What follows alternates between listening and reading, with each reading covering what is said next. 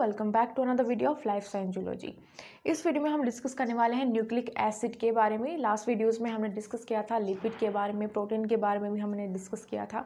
अब हम स्टार्ट करने वाले हैं topic nucleic acid. Nucleic acid क्या होता है?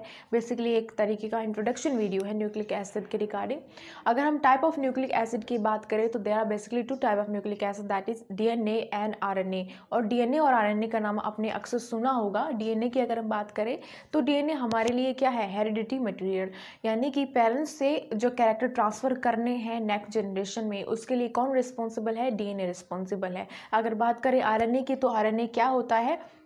इन्फॉर्मेशन कलेक्ट करता है डीएनए से और फिर प्रोटीन का सिंथेसिस करने के लिए रिस्पॉन्सिबल होता है आरएनए ठीक है?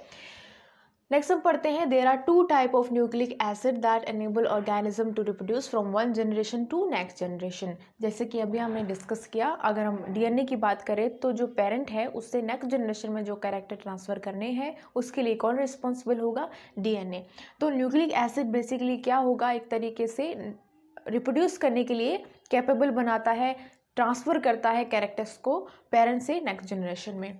अब हम बात करते हैं कॉम्पोजिशन कॉम्पोजिशन क्या होती है? कॉम्पोजिशन की अगर हम बात करें तो न्यूक्लिक एसिड आर मैक्रोमोलिक्यूल बहुत ही इंपॉर्टेंट बायोलॉजिकल मोलिक्यूल आप बोल सकते हो मैक्रोमोलिक्यूल बोल सकते हो।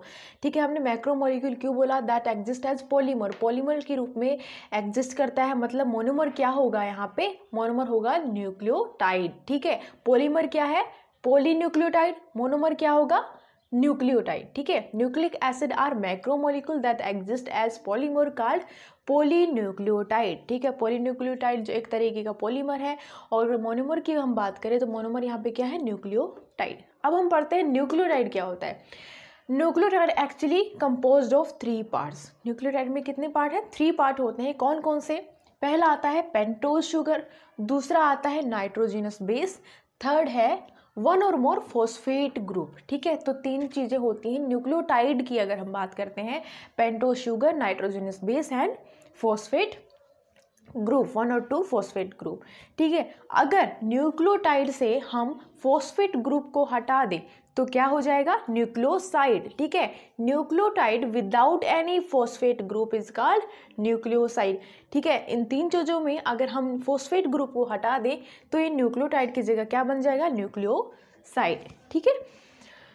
न्यूक्लियोसाइड में मतलब कौन कौन से इंक्लूड होंगे? Part pento sugar and nitrogenous base, ठीक है? न्यूक्लियोसाइड में सिर्फ़ पेंटो शुगर और नाइट्रोजिनस बेस इंक्लूड होंगे। पेंटो शुगर इसमें सॉरी फॉस्फेट ग्रुप इसमें इंक्लूड नहीं होगा। अगर हम न्यूक्लियोसाइड की बात करते हैं, न्यूक्लियोटाइड में क्या है? तीनों ही चीज़ें इंक्लूड है pento sugar phosphate group and nitrogenous base component of nucleotide अगर अब हम बात करते हैं component of nucleotide one by one discuss करेंगे कि पेंटो शुगर क्या होता है नाइट्रोजिनस बेस क्या होता है फॉस्फोरिक ग्रुप क्या होता है फॉस्फेट ग्रुप क्या होता है। ये हम डिस्कस करेंगे। बात करते हैं पेंटोज शुगर की, ठीक है? पेंटोज शुगर की हम बात करें it is a five carbon sugar ठीक है? फाइव कार्बन शुगर यानी कि यहाँ पे पाँच कार्बन जो है प्रेजेंट है। In case of R N A it is ribose while in D N A it is deoxyribose ठीक है? अपनी फुल फॉर्म की अगर हम बात करें तो आर एन ए का क्या मतलब है? राइबोज न्यूक्लिक एसिड और डीएनए क्या है? D oxy ribose nucleus structure देखिए यहाँ पे राइबोज शुगर प्रेजेंट है। आरएनए के अंदर तो यहाँ पे क्या है फाइव कार्बन यहाँ पे प्रेजेंट है। ठीक है?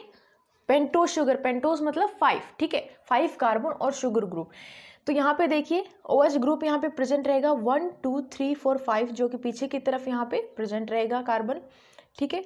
और यहाँ पे ओ OH ग्रुप प्रेजेंट है। अगर डी ऑक्सी राइबोज की हम बात करें तो यहाँ पे ओ OH ग्रुप प्रेजेंट है, लेकिन यहाँ पे सिर्फ़ एच ग्रुप प्रेजेंट है, यहाँ पे ऑक्सीजन प्रेजेंट नहीं है। इसलिए हमने इसको बोला है डी ऑक्सी राइबो डी ऑक्सी राइबोस ठीक है।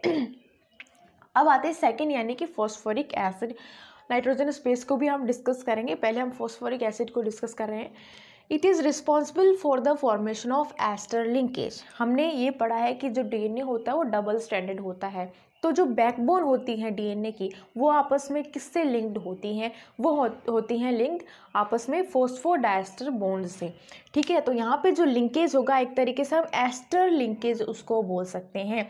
It is responsible for the formation of ester linkage between two nucleotides charges on DNA and RNA ठीक है is negative due to phosphoric acid अब हम इसको एसिड बोलते हैं, ठीक है? क्यों बोलते हैं? वो भी हम डिस्कस करेंगे। It has acidic nature that is why D N A and RNA are called nucleic acid DNA और आरएनए को इसी वजह से हम न्यूक्लिक एसिड बोलते हैं, क्योंकि ये एसिडिक होते हैं नेचर में। क्यों होते हैं? अगर आप स्ट्रक्चर देखो फॉस्फरिक एसिड का तो इस तरीके से यहाँ पे स्ट्रक्चर होता है। ऑक्सीजन जो है, इस पर नेगेटिव चार्ज है और यहाँ पे एच प्लस आयन जो है, वो रिमूव रिमूव हो रहा है। ठीक है? तो ये एसिडिक होता है बाई नेचर ठीक है? इसीलिए हम डीएनए और आरएनए को न्यूक्लिक एसिड बोलते हैं। ठीक है? तो ये बेसिकली हमने डिस्कस किया न्यूक्लिक एसिड के बारे में टाइप ऑफ़ न्यूक्लिक एसिड क्या होते हैं? डीएनए और आरएनए कॉम्पोजिशन की अगर हम बात करें तो न्यूक्लिक एसिड क्या होते हैं? मैक्रोमोलिक्यूल होते हैं, ठीक है? एग्जिस्ट एज पोलीमर पोलीमर क्या है? पोली न्यूक्लियोटाइड ठीक है? और मोनोमर क्या है? न्यूक्लियोटाइड न्यूक्लियोटाइड की अगर हम बात करें तो इसमें तीन पार्ट आते हैं पेंटो शुगर नाइट्रोजनस बेस और फॉस्फेट ग्रुप ठीक है? लेकिन अगर हम फॉस्फेट ग्रुप हटा दें तो पेंटो शुगर और नाइट्रोजनस बेस क्या कहलाएगा? न्यूक्लियोसाइड ठीक है? इसे हम न्यूक्लियोसाइड बोलेंगे.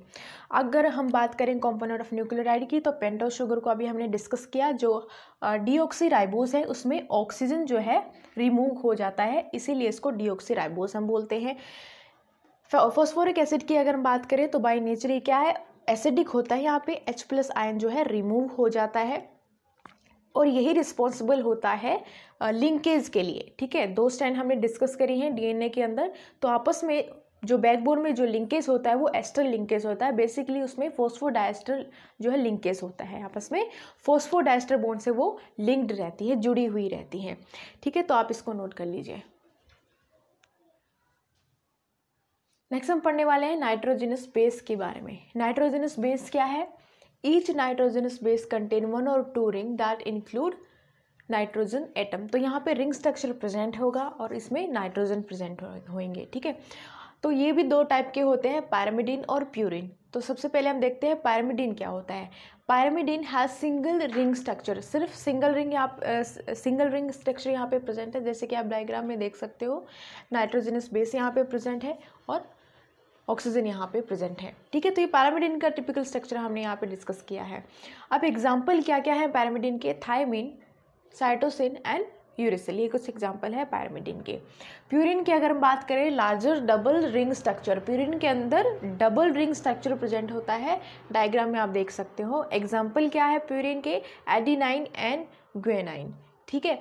तो अगर हम बात करें पैरामिडिन जैसे कि डीएनए और आरएनए के अंदर ये प्रेजेंट होते हैं। डीएनए के अंदर भी चार प्रेजेंट है और आरएनए के अंदर भी चार प्रेजेंट है।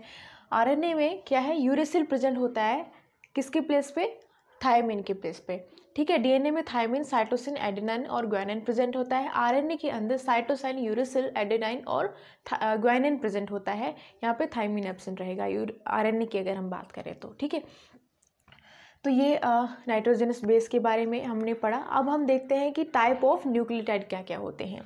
तो जो न्यूक्लियोटाइड हैं, वो तीन तरीके के होते हैं। मोनोन्यूक्लियोटाइड ठीक है? मोनो मतलब सिंगल ठीक है? एक ही न्यूक्लियोटाइड यहाँ पे प्रेजेंट होगा। Compose of one nucleotide unit सिर्फ़ एक ही यहाँ पे न्यूक्लियोटाइड प्रेजेंट रहेगा। एक ही न्यूक्लियोटाइड यूनिट यहाँ पे प्रेजेंट है। एग्ज़ाम्पल क्या क्या होते हैं? A M P A D P and A T P ठीक है? अब ए एम पी क्या है? Adenosine monophosphate adenosine diphosphate adenosine triphosphate ठीक है? यानी कि मोनोफोस्फेट सिर्फ़ एक ही फॉस्फेट ग्रुप यहाँ पे प्रेजेंट है, यहाँ पे दो फॉस्फेट ग्रुप प्रेजेंट है, यहाँ पे तीन फॉस्फेट ग्रुप प्रेजेंट रहेंगे। ठीक है, जितने फॉस्फेट ग्रुप प्रेजेंट रहेंगी, उतनी ज़्यादा एनर्जी होगी। इसलिए हम बोलते हैं एटीपी क्या है? करेंसी है एनर्जी की।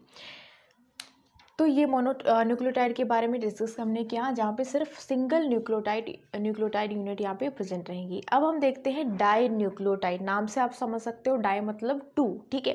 Compose of two nucleotide unit यहाँ पे दो न्यूक्लियोटाइड यूनिट प्रेजेंट रहेंगी। एग्ज़ाम्पल क्या है? एनएडी एक तरीके का को एंजाइम होता है। आगे जब हम इलेक्ट्रॉन ट्रांसपोर्ट के बारे में पढ़ेंगे, तब हम इसको देखेंगे क्या होता है। नेक्स्ट हम पढ़ते हैं पोली न्यूक्लियोटाइड अगेन नाम से आप समझ सकते हो पोली मतलब मैनी, यानी यहाँ पे compose of many nucleotide. Example क्या है?